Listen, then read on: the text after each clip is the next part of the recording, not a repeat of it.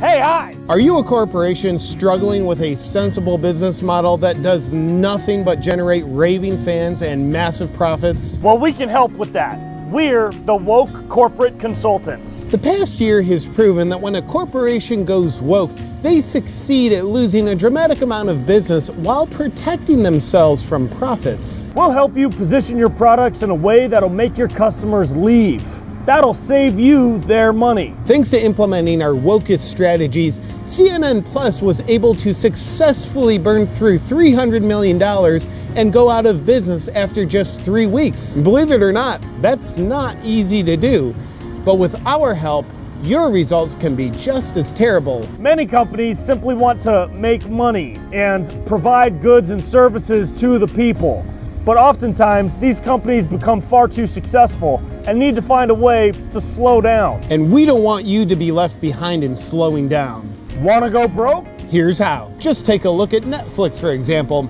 We advise them to create a show about a pregnant man that's rich in radical ideologies and void of any artistic merit. We helped Netflix lose 200,000 subscribers and $50 billion from its market cap. They'll probably be able to do even better at losing more subscribers when we pitch them our new show idea about a pregnant baby. Disney is another great example. They've used the hand of wokeness to set the bar so low it's hard to go any lower. Where they've succeeded is by pressuring children with a sexualized agenda it's proven to be an effective strategy to help their stock value drop by $34 billion. Approximately 0.3% of Americans love Disney's woke ways of sexualizing children. That's also coincidentally the same amount of pedophiles in the country. And a pro tip for companies on social media make sure you tweet out hashtags that have absolutely nothing to do with your business. A couple of examples we recommend using are Believe All Women,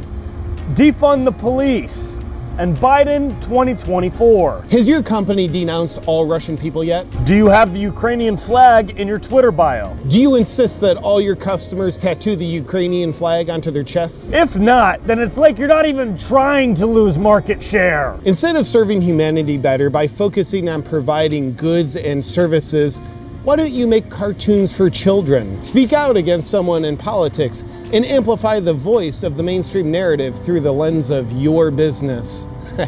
Trust us, it'll bring your stock value way down so you can relax. Brett, tell the people at home how much money they'll save on taxes if they're making no profit.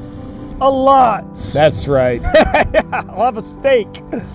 Look, success and profitability are just outdated concepts based on old school capitalism.